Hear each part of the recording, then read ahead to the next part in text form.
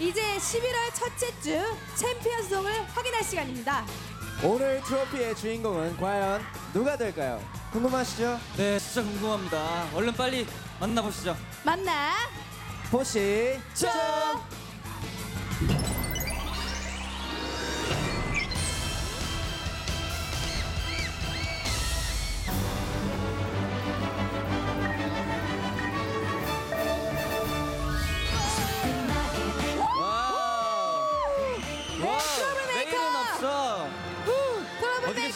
계시죠?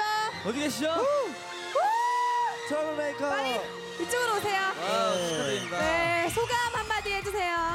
아, 네, 너무 감사합니다. 먼저 어, 저희를 어, 항상 사랑해주시는 저희 홍승성 대표님 항상 감사드리고 또 저희 큐브 엔터테인먼트 모든 식구 어, 매니저 형들 어, 노현태 부사장님, 박충민 사장님, 어, 용복이 형 그리고 세훈이 형 그리고 기찬이 형 또 우영이 형, 예, 굉장히 많은 우리 큐브 엔터테인먼트 식구들 그리고 항상 우리를 위해서 애써주시는 저희 스태프분들 너무 감사드리고 어, 저희 우리 비스트 멤버들 그리고 포미닛 멤버들 어, 뷰티 포니아 너무 감사드리고요 오늘 여기 있는 분들도 감사드리고 여기 같이 출연해주신 선후배님들도 정말 감사드립니다 감사합니다 네, 감사합니다. 앵콜송. 앞으로 더 열심히 하겠습니다.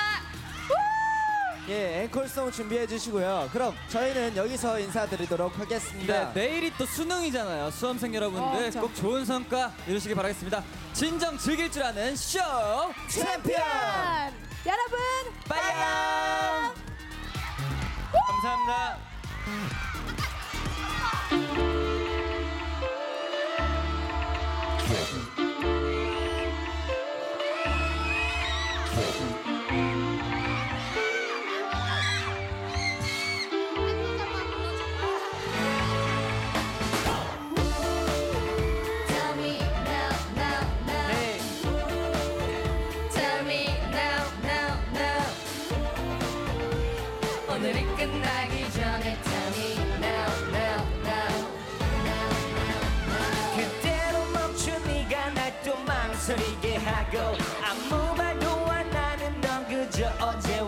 어